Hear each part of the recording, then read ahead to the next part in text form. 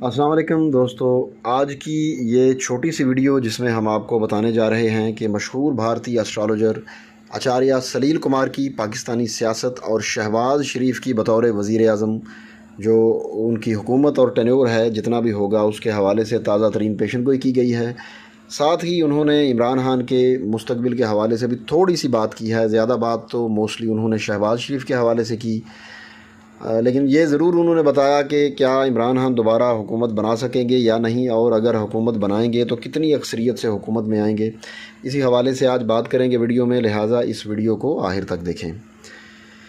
इस हवाले से सबसे पहले तो उन्होंने ये दावा किया कि उन्होंने आज तक पाकिस्तान के बारे में जितनी भी पेशन गोइयाँ की हैं, वो सारी की सारी सौ फ़ीसद दुरुस्त साबित हुई हैं। हती कि इमरान खान की हुकूमत के हाथ में का भी बहुत पहले उन्होंने बताया था और वो पेशन गोई भी पूरी हुई। अब फिर से उन्होंने अप्रैल के बाद, यानी इमरान खान की हुकूमत जाने के बाद, इमरान खान इस वक्त अपोजिशन में हैं।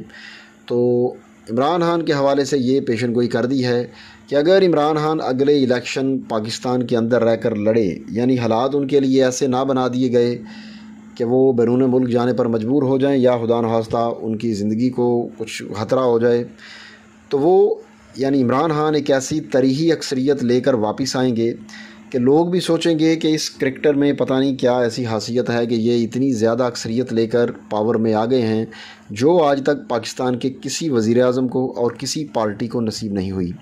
हालाँकि इमरान खान ने अपने पिछले साढ़े तीन साल दौर में अपने वादे कुछ खास पूरे नहीं किए, लेकिन इस दफ़ा वो इकतदार में आकर कुछ ऐसी आइनी तब्दीलियाँ करेंगे जो पूरे के पूरे पाकिस्तानी सियासी निज़ाम को बदल कर रख देंगी।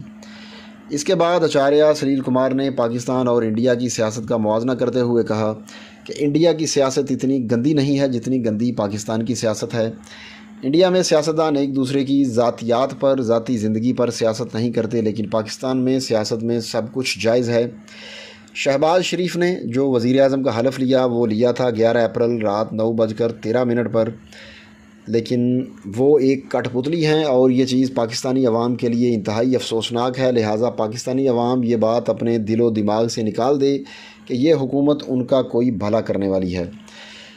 शहबाज शरीफ पर बतौर वज़ी अजम बात करते हुए उन्होंने कहा कि अगर उनके बतौर वज़ी अजम जायचे को बरीकी से देखें तो ये पता चलता है कि वो बतौर वज़ी अजम कामयाब नहीं हो पाएँगे, जिस तरह वो बतौर वज़ी अला कामयाब हुए हैं। और मुल्क वापस खुफिया हाथों के या मार्शल लॉ टाइप के किसी कंट्रोल में चला जाएगा और आगे चलकर वही लोग इंतबात करवाएँगे।